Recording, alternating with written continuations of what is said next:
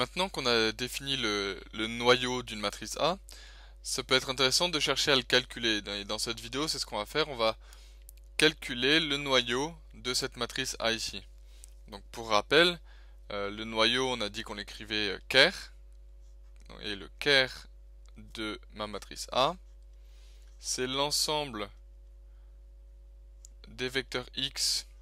Donc ici, x, euh, ma matrice, c'est une matrice 3 x 4.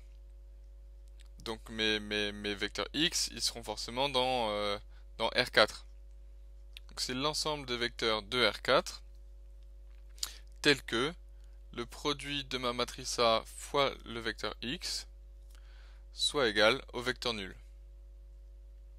Le vecteur nul qui sera lui dans R3. Donc en fait, ça c'est c'est le, noyau de A, le ker de A.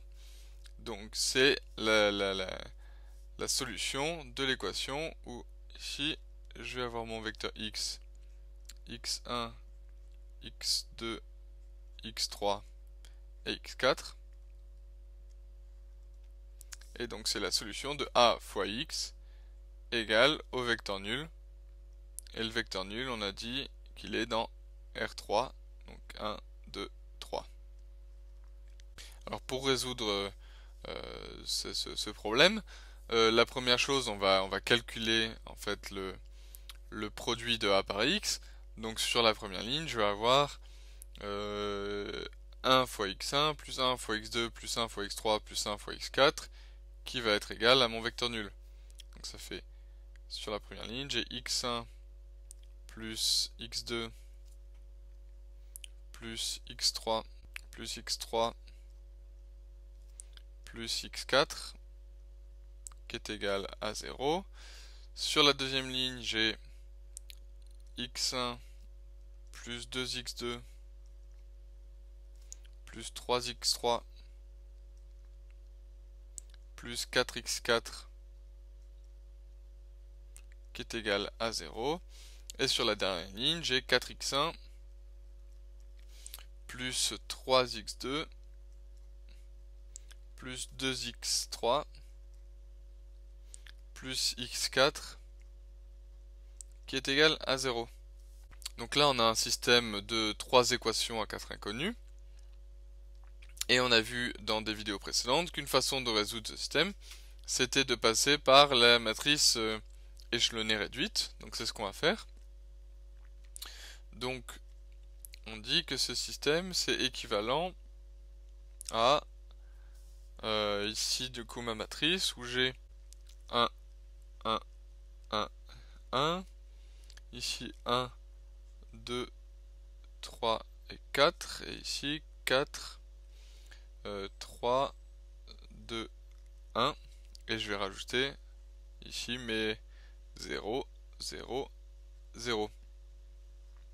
Et ce qu'on remarque assez rapidement ici, c'est qu'en fait je, me suis embêté à partir de ce produit euh, de, ma, matrice A par mon vecteur X, à mettre ça sous forme euh, d'un système d'équations, pour ensuite repasser à une forme matricielle, et en fait ici, là, j'ai directement ma matrice A. Ici j'ai bien 1, 1, 1, 1, 1, 1, 1, 1, 1, 2, 3, 4, 1, 2, 3, 4, 4, 3, 2, 1, 4, 3, 2, 1. Donc ça c'est bien ma matrice A.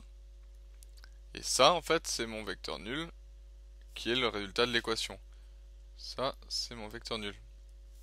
Donc en fait, j'aurais pu passer directement à partir de ma matrice et obtenir la, euh, matrice échelonnée réduite de ma matrice initiale, de ma matrice A, au lieu de passer par le système d'équation pour revenir finalement à la même matrice. Donc maintenant, si je calcule la matrice échelonnée réduite ici, donc ce que je vais faire, c'est que je vais garder la euh, première ligne constante. Donc 1, 1, 1, 1, ici 0. Et je vais essayer d'obtenir des zéros ici et ici. Donc pour la première, je vais faire la, pour la deuxième ligne, je vais faire la deuxième ligne moins la première ligne. Donc 1 moins 1, 0, 2 moins 1, 1, 3 moins 1, 2, 4 moins 1, 3, et 0 moins 0, 0. Et pour celle-là, je vais faire 4 euh, fois la première ligne moins la troisième ligne. Donc ça va me faire 4 fois 1 moins 4, donc ça me fait 0. 4 fois 1 moins 3, ça me fait 1. 4 moins 2, ça me fait 2. Et 4 moins 1, ça me fait 1. Et 4 fois 0 moins 0, ça fait toujours 0. Donc je me retrouve avec cette matrice ici. Donc maintenant la, chose que je vais faire par la suite c'est que je vais garder la deuxième ligne constante et que je vais essayer d'obtenir des zéros ici et ici.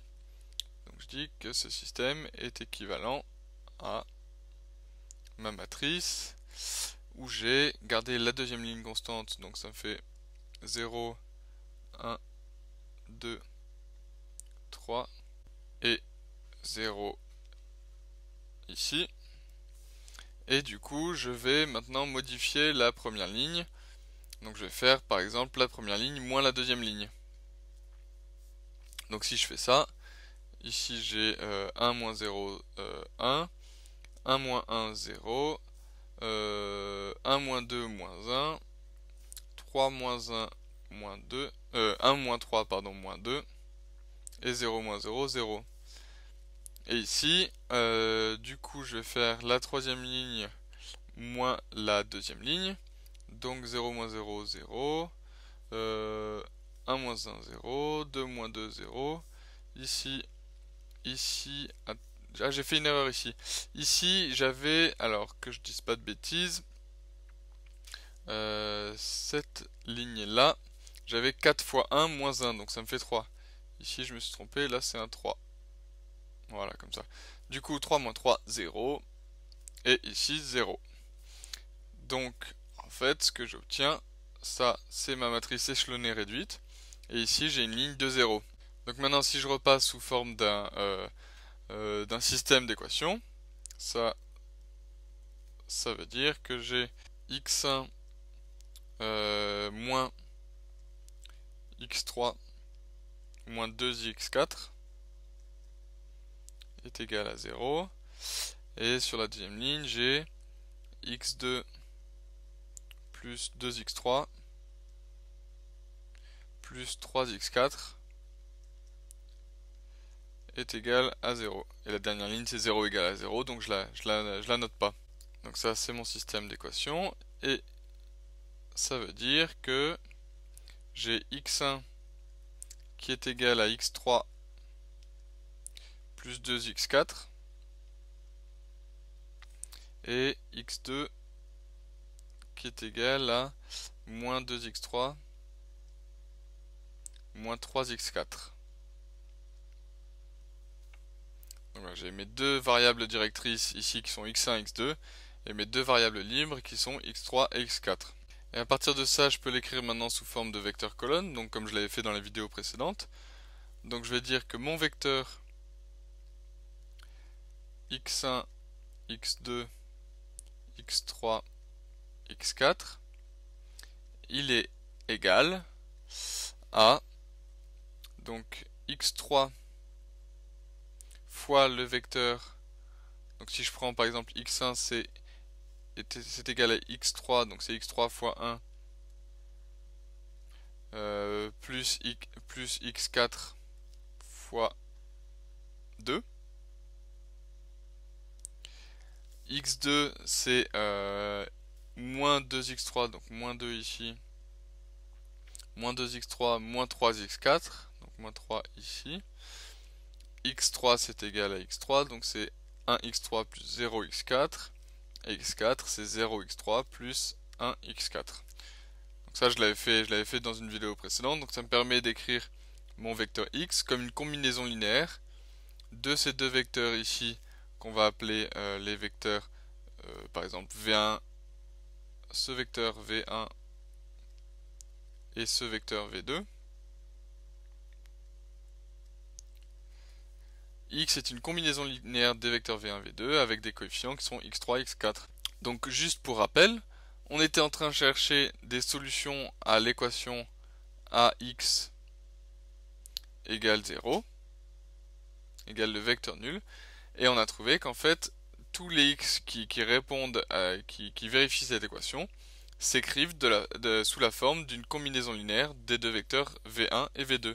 Donc ce qui veut dire que le noyau de ma matrice A, ça va être l'ensemble des vecteurs qui peuvent s'écrire sous la forme d'une combinaison linéaire de V1 et V2. Et ça, l'ensemble des vecteurs qui s'écrivent comme la combinaison linéaire de V1 et V2, on le sait, c'est ce qu'on appelle le vect de V1 et V2. Donc ce que j'ai obtenu ici, c'est que le, le le noyau de ma matrice A, il est égal au vect de mes vecteurs V1 et V2. Ça, c'est ce que j'ai obtenu en faisant le calcul et en trouvant que mon vecteur x qui vérifiait cette équation-là s'écrivait forcément comme une combinaison linéaire de V1 et V2.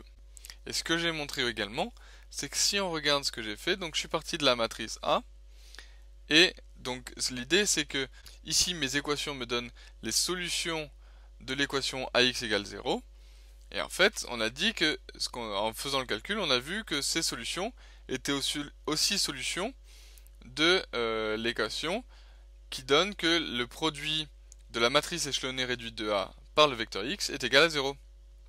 Donc ça nous dit que le ker de A est aussi égal au ker noyau de la matrice euh, euh, la matrice échelonnée réduite de A. La matrice A et la matrice échelonnée réduite de A ont le même noyau. Voilà, donc j'espère que tu as bien compris comment est-ce qu'on pouvait faire un calcul de, du noyau d'une matrice. Et euh, dans les vidéos précédentes, on va continuer à travailler justement sur ce noyau.